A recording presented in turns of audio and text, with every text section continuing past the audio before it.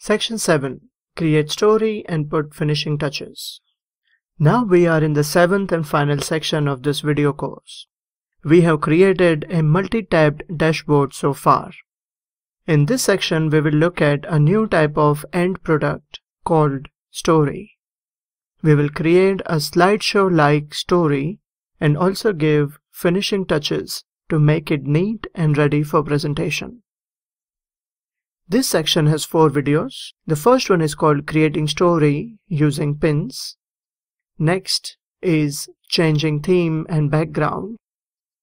The third one is called adding multimedia and infographics. And the last one is about sharing dashboard and story using custom URL. 7.1 creating story using pins. So far you have created a tab dashboard that has the important information to drive the meeting with your sales team. Typically dashboards are used for interactive access. So you think that you will share the link of the dashboard with the attendees. However, in the meeting itself, something like PowerPoint slideshow will be very handy. Cognos Analytics provides a similar output called story so you are thinking of creating a story to use in the meeting. In this video, we are going to take a look at what is a story and how to create story, using pins to quickly reuse objects and add transitions and animations. So let's open our multi-tabbed dashboard that we created in the previous section. And we know that we are having these charts and headline figures in lost opportunities tab which are going to be useful in the slideshow for the meeting. We also want to reuse the visualizations from promotions and channels tab and in the end we would like to use the visualization from geography tab. When we create a new story, in order to reuse these visualizations, we are going to use something called pins. In order to pin the item that you want to reuse elsewhere, you have to open the dashboard and you don't have to be in edit mode. In the normal consumer mode, you can pick and click on any visualization and then choose the option called pin. As this chart is now pinned, I will be able to use it anywhere else in some other dashboard or story. I also want to reuse the headline figures for actual sales, potential sales, and lost opportunities. So I have pinned those headline figures as well. In the slideshow, I don't want to provide the filter option. Instead, I will make sure that these headline figures and charts are pre-filtered on golf equipment product line. Now let's go to promotions and channels tab and also pin the two visualizations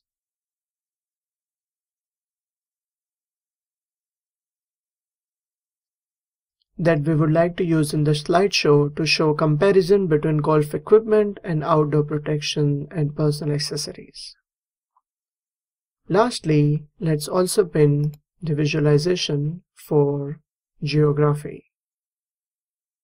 Now you can quickly review the items that you have pinned by clicking on pins icon here on top right So this list now shows all the items that you have pinned on this Cognos Analytics server. You can pin items from as many dashboards as you want and then use them all in your story.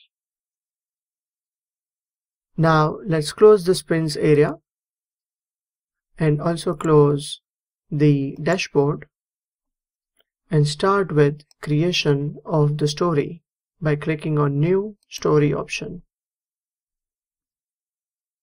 We are going to start with slideshow type story and for the template or layout let's choose the layout which was same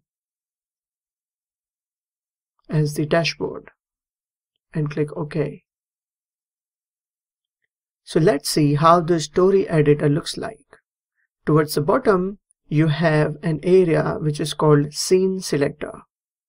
Each slide in our slideshow is going to be called a scene. And each scene will have a timeline. So you can put multiple objects in a scene and show them and hide them over time or define the entry and exit of the objects over time. If the scene selector is not open by default, you can click on the open scene selector icon like this to open the scene selector. Now we are in the first scene as you can see here it says number one. So you're on the first scene and we can drag the items that we want to show in the first scene. When the slideshow starts, I want to put some text.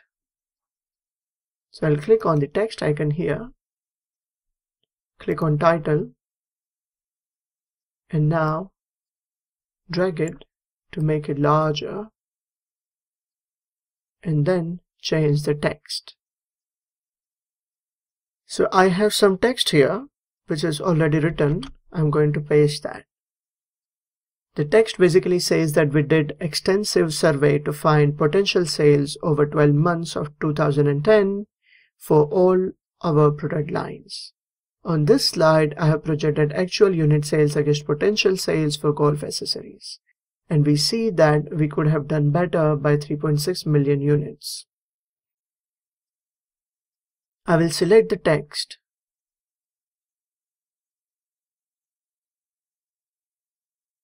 and open properties and increase the font size. Now let's hide the properties area and also hide the text toolbar. Next, I'm going to click on this small icon on the top right corner of the scene selector. And I can see that the timeline is now shown. And right now my text is showing as it's going to start at 0 second and finish at 5th second. Next, Let's open pins and drag the line and column chart by first clicking on it and then dragging in the middle to expand.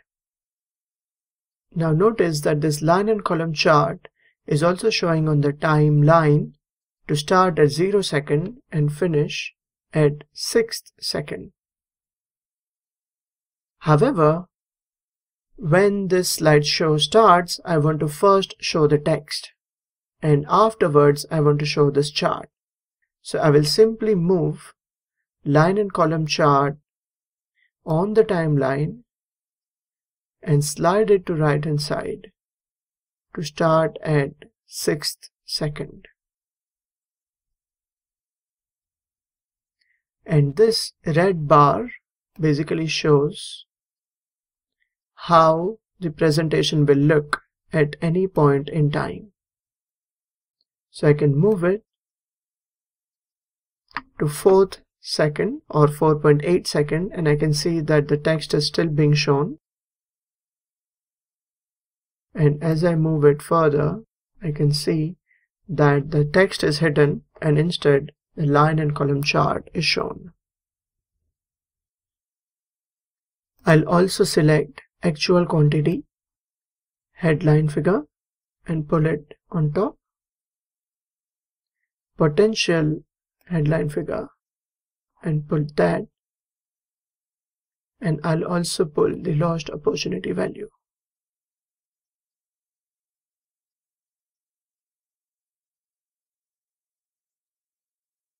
I want to make sure that all of these are golf accessories so I'll click on filter icon and confirm that there is a product line filter for golf equipment on all of these visualizations.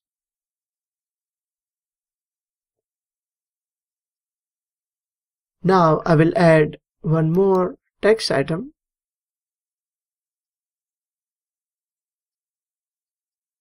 and here write down as golf accessories performance. Golf equipment performance.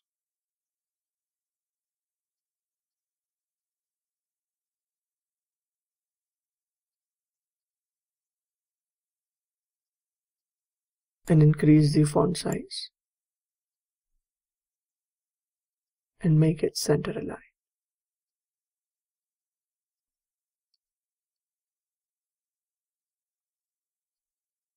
In order to quickly see how the slideshow will look like when it is presented, you can move this red slider back to zero second and then click on this play button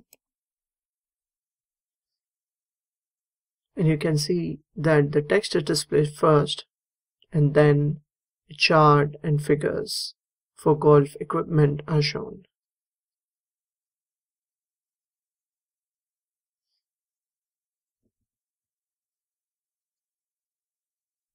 Let's see if we can do any change to the transitions or animation for the entry and exit of the objects. So let's click on the text and notice that on the properties we have a tab called animation. Right now the animation is set to fade in, fade out and I could change it to be slide in from bottom and slide out to top.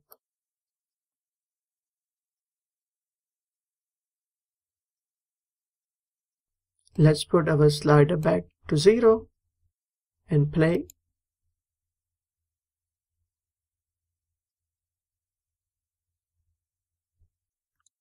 And notice that there was a quick slide out animation, but there was no slide in animation. It is important that the object timelines do not start at 0 second otherwise the entrance animation that we have selected will not appear. So for the text I will change the start time to be at first second. Now I will move my slider back to 0 and click on the plus click on the play button and I should see as you just noticed there was a text slide in from the bottom.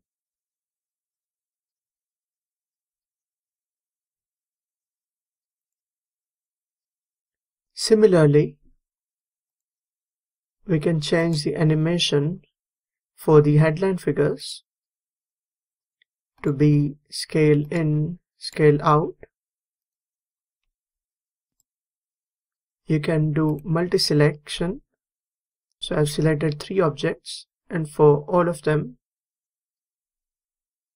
I will select scale in and scale out.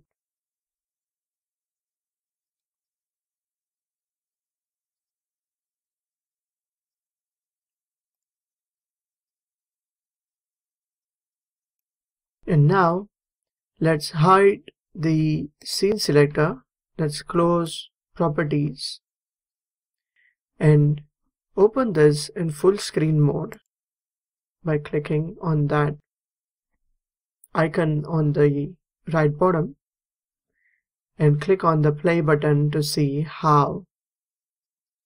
Let's click let's jump to the beginning of the scene and then click on the play button